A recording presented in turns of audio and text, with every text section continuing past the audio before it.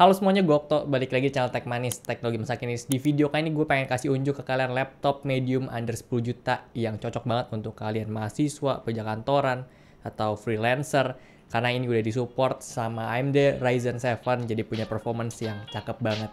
Jadi kita akan bahas, langsung aja masuk ke videonya.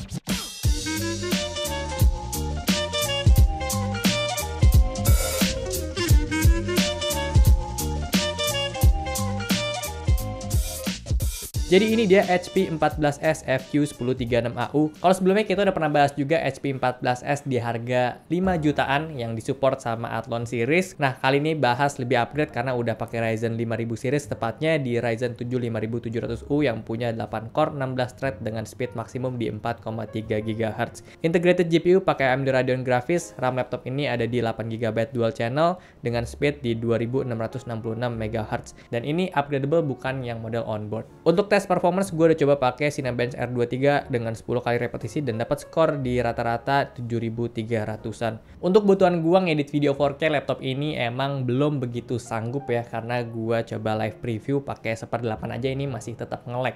Dan gue coba export video 4K durasi 10 menit di Premiere Pro ini butuh waktu sekitar 35 menit untuk jadiin satu video ini. Untuk tes performance gaming ini gue coba pakai main GTA 5 dan dapat di rata-rata 30 FPS ini low quality sementara untuk Apex Legends juga dapat FPS yang sama di low quality juga dan gue pribadi sih agak kurang nyaman ya.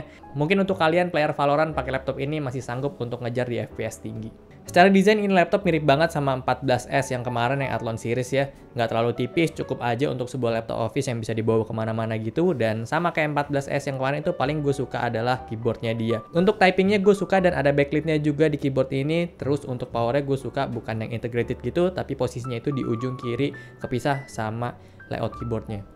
Layar laptop ini juga udah cakep 14 inch Full HD IPS panel dengan color gamut ada di 45% NTSC. Jadi kualitas layarnya ini udah lumayan enak untuk sebuah laptop kita bisa nonton film, main game di sini dan kerja juga ini nyaman. Kalau misalnya kerjaan kalian itu nggak butuh akurasi warna yang tinggi banget kayak edit-edit foto, ini masih sangat aman. Bezelnya bukan yang paling tipis, tapi ini udah lumayan. Bagian kanan kirinya udah minim, dan kita bisa lihat di bagian atas bawahnya itu masih ada bezel yang lumayan tebal untuk taruh dia punya webcam dan logo HP di bawah. Laptop ini lumayan ringan, ada di 1,4 kilo, jadi untuk dibawa ke mana-mana juga ini udah gampang. Baterai laptop ini ada di 41 watt hour dengan klaimnya mereka ada di 9 jam untuk putar video playback, dan kalau pemakaian gue sehari-hari untuk ngetik script, terus browsing-browsing, dari kondisi full sampai habis itu ada sekitar 4 jam. Untuk charger kita dapat adapter 45 watt, jadi ini nggak terlalu tebel ya untuk kita bawa-bawa ke mana-mana juga ini masih nyaman. Laptop ini udah dapat bawaan Windows 10 plus ada Microsoft Office 2019 juga.